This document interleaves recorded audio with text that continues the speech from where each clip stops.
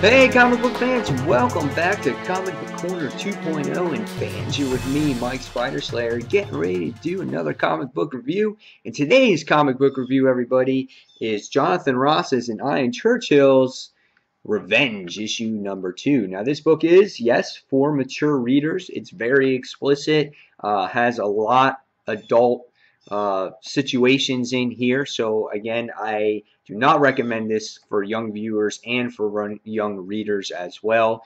Um, this book definitely pushes the envelope to the extreme, uh, and it but it is a great story uh, for uh, uh for people if you look past.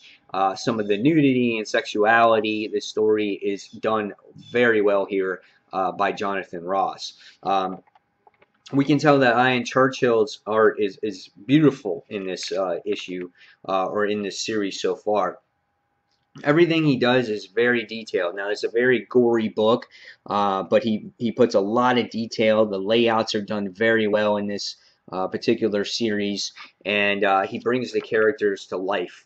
Um, it, it, every page is beautiful to look at. Uh, the man is is very artistically gifted. I enjoyed it. Like ex facial expressions right here uh, is is beautiful. Even the reflection off of the sunglasses, uh, you can see that he takes a lot of time in doing um, his artwork. And what makes this book so well done too, again, is the layouts, is the inkings, all everything about it is is a wonderful and beautiful book to look at. Very interesting. So, what is this story about? Now, I reviewed this at first issue on Comic Frontline, and I loved it. Uh, so, if you want to check out a review on issue one on Comic Frontline, go ahead and check that out. Uh, but the second issue, I wanted to buying it, wanted to see how good this one was. Let me just say this is this is just as good. Now, a story so far in brief is that this man here, his name is Griffin Frank. He is an old or aging um, movie star who recently did a reboot of uh, a movie called Revenge. And what happens is that it's a success. He gets all kinds of money. He's, his his career's getting um, reinvigorated, and his wife Candy, who is a porn star wife, uh, basically uh, wants to set up Griffin Franks and take all his money for everything that he's worth and cause all this pain uh, for him because when he was younger, uh, he dated her mother.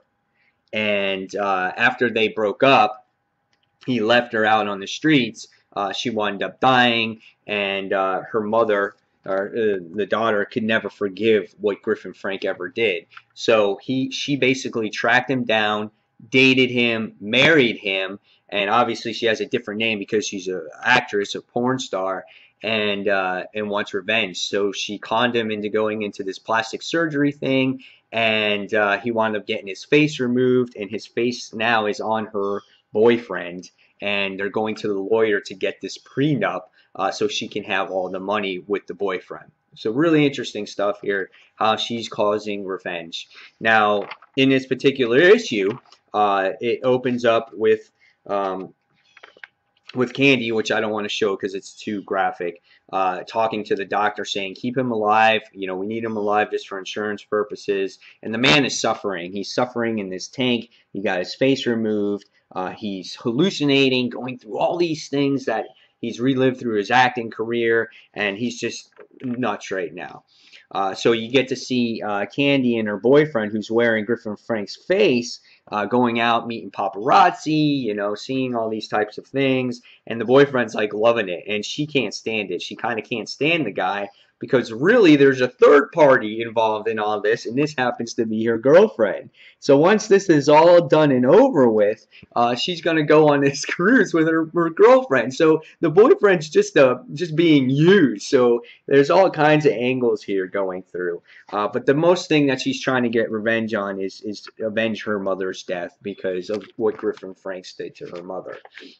Now, Griffin Franks is suffering. Again, he's going through all these hallucinations. In his older age, he's trying to make up for things that, um, you know, that he did wrong in his past and whatnot. But he's just going crazy. And um, we find out that there's other people involved with his money and they know that something's not right, that Candy's using him for his money. And um, as the issue progresses, we get to see Griffin Frank uh, fight the pain that he's going through, and he he he comes alive in his tank. Uh, basically by this drug that was injected by this guy that's he's like a little uh, midget guy or little person with horns on his head. That you know, it's all crazy. Uh, but um, what's it called? He comes back alive, and all he has is revenge. He he wants death to his wife because he knows that she's all behind this. Plus, at the same time, he's hallucinating. He's just completely lost it. Um, so, in the end of this issue, uh, he winds up going to the doctor's house and um, winds up saying, "I need."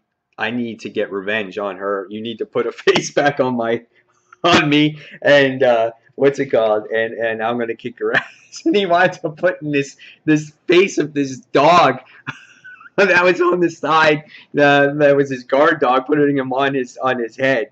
Um, yeah, it's really interesting. I don't want to sit here and give everything away. You kind of have to read it to really get what I'm saying here. Um, it's it's a really weird and different type of story. It's like way out there, but I enjoyed it. I liked it for what it is. Um, I suggest you guys go out and pick it up. Read issue one, read issue two. When you get past all this graphic violence and some of the sexual stuff that they throw in here, it really is a pretty good story. Um, it's edgy, it's detailed art, and, and, and I like it uh, for that aspect of it. The sex I could do without, it's really not necessary, um, and the overdone graphic violence. But it is great story again of what it provides here for its readers.